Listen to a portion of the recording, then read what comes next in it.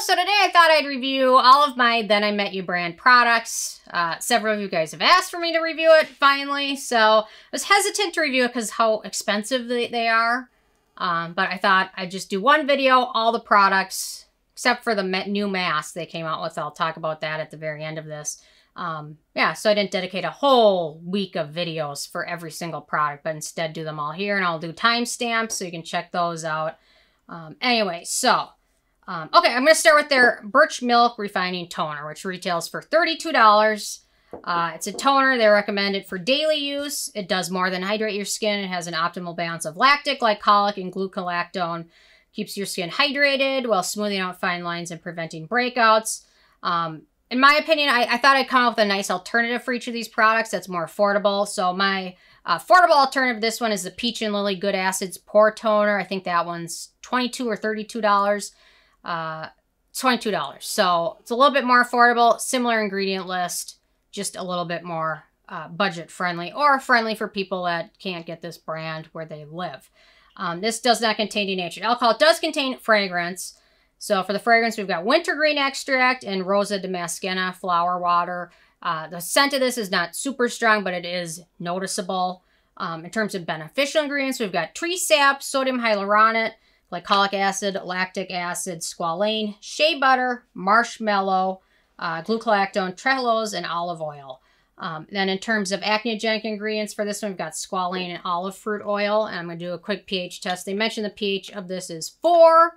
So we'll see, just to double check it. Because for some of those exfoliant ingredients, you want them you generally to be between 3 and 4. So let's see on the pH strip. I would say this does fit in pretty close to four, like they mentioned. So it's just up the upper range for exfoliation. I found this to be gentle, except for the fragrance. Um, I found it to be okay. I, I didn't love it. I didn't have any miracles with it. It's a nice, decent, slightly gentle toner.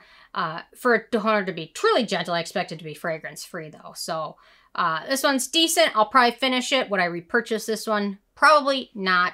It's pricey. So there we go for the verdict for that one. Uh, next up, I'm going to talk about the Giving Essence. So they call it a silky treatment essence designed with over 80% naturally fermented ingredients that couple with polyglutamic acid to deeply hydrate and retain moisture in your skin. Uh, they call they say its natural pink hue is derived from a powerful cocktail of antioxidant red algae and berries. It's not necessarily true because uh, they do have a specific ingredient that is used as a colorant in products, and that's called Gardenia jasminoides fruit extract. So they say the color comes from all these berries, which it could, but they also use an ingredient which primarily is a colorant to give things a pink color. So it's kind of a little bit misleading there, in my opinion. Um, so yeah, so they say it unveils a luminous complexion. I say an affordable alternative to this one, in my opinion, is the Tony Moly Vital Vita 12 Moisture Ampule. Uh, a couple years ago, they came out with these different ampules in different colors, and that is a similar product to this one. I think it's like 60% similar, so it's not totally identical. Um, the ingredients of this one also kind of seem similar the Paula's Choice Berry Serum with all the berries in here. So uh, no fragrance ingredients in this one. No denatured alcohol. Beneficial ingredients, we've got galactomyces ferment, Aspergillus ferment, Saccharomyces ferment. We've got niacinamide, aloe, black chokeberry, polyglutamic acid, algae, sodium hyaluronate, mulberry, allantoin, holy basil, black currant, uh, turmeric, raspberry, betaine, bilberry, maqui fruit, acai, blueberry, aloe, eggplant, neem, and purslane. So all try and post as much of this in the description as I can. Uh, the nice thing is in terms of acneogenic ingredients, there are none of those to note, and I'll do a quick pH test of this one. They say the pH of this is 5. So, there we go.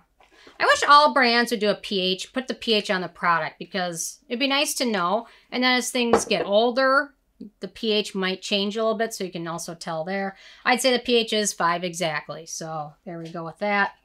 Um, so in my opinion, it's a nice essence. Probably my favorite product from Then I Met You, but also the most expensive one at $50 for a little 3-ounce bottle. 3.3 ounces.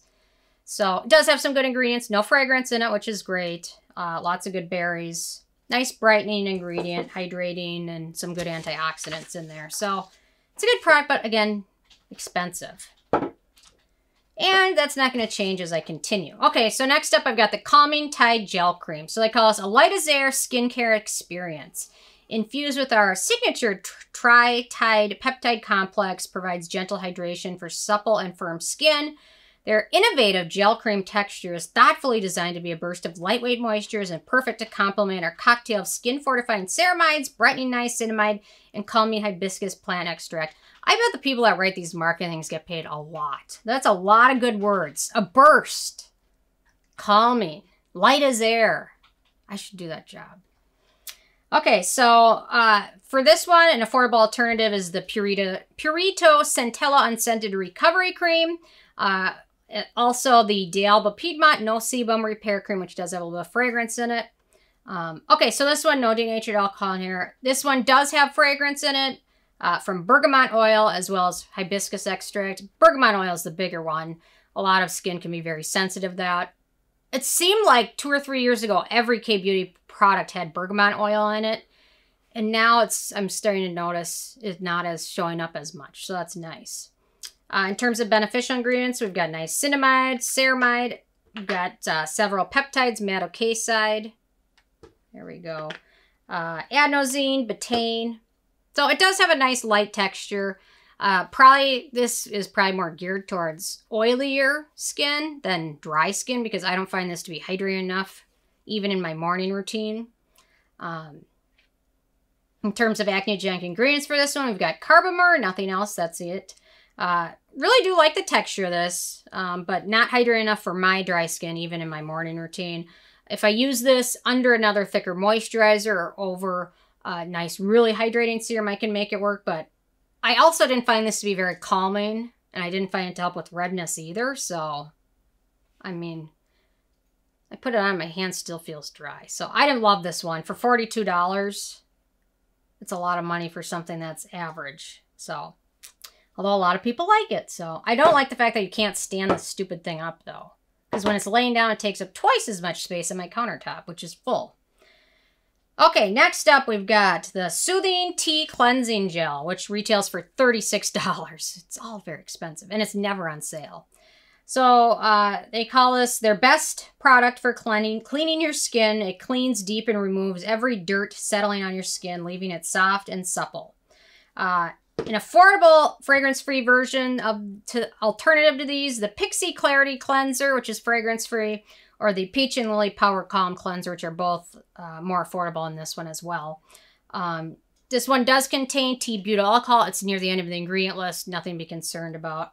Um, and it does contain tangerine peel oil for fragrance. It's a rinse-off product, so it's not as big of an issue, but it's still something to note for very sensitive skin. Uh, in terms of beneficial ingredients, we've got sorbitol, tea tree, licorice root, willow, willow bark, sodium hyaluronate, of course, cocoa extract, centella, green tea, panthenol, and glucolactone. No acneogenic ingredients, so that's always nice. Um, it's a decent cleanser. I would use it much more if it didn't contain fragrance because I just prefer to go fragrance free. Although I didn't have any issues with it, I just don't enjoy the scent. But uh, it does do a good job. It leaves your skin feeling clean, but not stripped or too dry. It On its own, it's not enough to remove makeup or sunscreen, so you really will want to use this with another cleanser, preferably for them, their cleansing balm. So I'll get into that one next, but uh, decent first step cleanser. Okay, so next up we've got the Living Cleansing Balm, which retails for $38, which is expensive. But they give you a cute little spatula, which says Glow Deeper. You just spent $38 on this. Uh, I will say I look creepy when I use this because it's very yellow. I'd leave this thing on. It's very yellow and your whole face looks bright yellow when you smooth it over. But uh, they call this a oil cleanser. Combines a lightweight blend of grapeseed, olive oil, and sea berry oils. Hints of rosemary and persimmon and grapefruit make this sens sensorial aromatic experience designed to delight your senses and leave your skin soft and clean. Uh, so for me, an affordable alternative to this is the Samuel, Jordan Samuel After Show Treatment Cleanser. And another alternative is the Hanskin uh, line of cleansing oils. They've got several different ones. Um, this does contain fragrance from grapefruit peel oil, rosewood oil, and rosemary oil, although it's a rinse-off product, so it's not as big of a deal as if it were a leave-on product. Uh, the beneficial ingredients in this one, olive oil, grapeseed oil, sea buckthorn oil, babassu oil, vitamin E. Um, and then in terms of acneogenic ingredients, we've got olive oil and Orbignya oleifera seed oil. This one does a great job removing makeup, sunscreen, everything. It does a great job removing everything. There are some cleansers that do a decent job but struggle. This does not struggle at all. It removes everything. And I use some stubborn uh, eyeshadow sticks. Removes them all. Does a great job with that. I cannot, cannot fault them at all. Uh, it does a great job removing everything. Sunscreen, makeup, mascara without leaving your skin feeling dry. It doesn't bother my eyes. You will probably want to follow this up with a second step cleanser. For them, preferably their tea cleanser, because um, it does have a tendency of a little bit of residue, but does a great job removing most things on your skin. So it would be better if it were fragrance free though. But I like that it doesn't leave a film over my eyes. A lot of cleansers leave that film and you look blurry for a while. Everything looks blurry for a while and this does not do that. So Okay, next up we've got their Honeydew Lip Mask. It's, they call it Nourishing Ultra Hydrating Lip Mask. A uh, good alternative to this one is the Tarte Sea Jelly Glaze Lip Mask, which I also like. Uh, no denatured alcohol. This does contain fragrance or aroma. It's not terrible. I don't mind fragrance as much in my lip products. Um, so this one's nice. Uh, we've got synthetic wax, melon fruit, sodium hyaluronate, avocado oil, squalane, lactic acid, vitamin E, olive fruit oil, sodium ascorbyl phosphate, which is a vitamin C derivative, uh, and then honey. So I like this. It's a nice lip product. It's hydrating. I wish it were a little thicker, especially if they call it a lip mask. For lip mask, I think of something that's super thick. You apply before you go to bed and rinse it off when you wake up. Uh, this one soaks in after a few hours, so I do find myself reapplying it, which is fine. It's not a big deal, but something a little bit thicker might be a little bit better, but anyway. And it's $22. Uh, then let me talk about their last ingredient. They re recently released a rose resurfacing mask for $56. Um, it contains fragrance. It also contains Rosa Damascena extract. And because of those two ingredients, um, I decided not to purchase this product, especially since it's very, it's more expensive than any of these. For a rinse off mask to be $56, I'd have to be really blown away with it. And I have a feeling I wouldn't be with some of those ingredients. So, especially when you combine resurfacing ingredients with fragrance, it just, com it increases the likelihood of sensitivity or reaction. So, anyway, that those are my thoughts on the brand. Uh, it's pricey. Some people have really good luck with it. Um, yeah, so my favorite probably be the, the Essence, which is the one of the more expensive ones. But uh, everything here is pretty friendly for most skin types, except for very sensitive. So anyway, those are my thoughts. I'm interested in hearing from you guys. If you guys have a favorite from the line, and if so, what it is and what you like about it. Or if you've tried the Rose Resurfacing Mask, uh, what your thoughts are on it. So uh, definitely leave a comment. I love hearing from you guys and stay tuned for more tomorrow. Thank you so much. Bye, guys. Did you do them all? Yep.